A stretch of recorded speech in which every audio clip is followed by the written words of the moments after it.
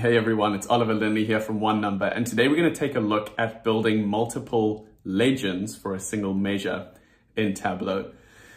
You might have run into a situation like this where we've got a crosstab looking at our sales across various years for each category and subcategory. And currently, because our sum of sales pill is on the marks card, we have uh, here on the colors tab on our marks card, we have a color legend.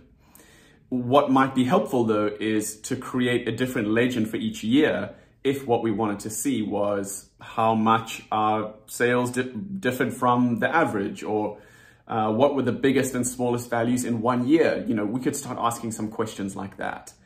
But in order to do that, we'll need to work around some of the limitations that Tableau has at the moment. Um, you know, kind of the way that it creates legends out of a measure. So here's what we're going to do uh, I'm going to open up this second uh, crosstab. So it's kind of like the one that we had before, but it's very bare bones, no year, no sales. And we're going to start by creating a separate field for each year of sales that we want to see in this instance.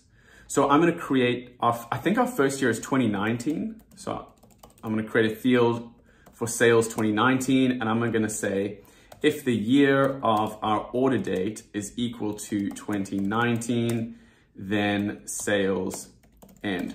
So what Tableau is going to do is it's going to search through all our sales values and it's going to double check if the year of that sales value is 2019. And if it is, it'll return the sales value.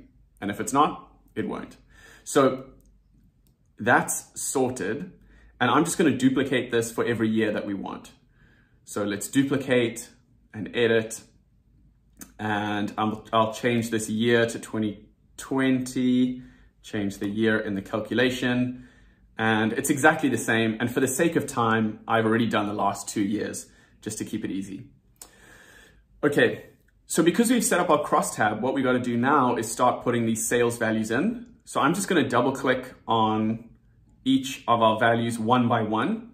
And you can see that Tableau auto populates measure values and measure names all over our worksheet. If you want to learn a little bit more about measure names and measure values, check out this video uh, that we'll put in the description. So I'm just going to keep adding in and that's fine. So now we've got a separate column. It pretty much looks exactly the same as this one, 2019 to 2022, but technically each of these columns is its own measure. So now here's the trick we're going to add measure values onto color. We're going to change our mark type to square so that Tableau knows we're building a highlight table. And now this table is actually exactly the same as our first crosstab. So what we've got to do here is right click on measure values and say use separate legends.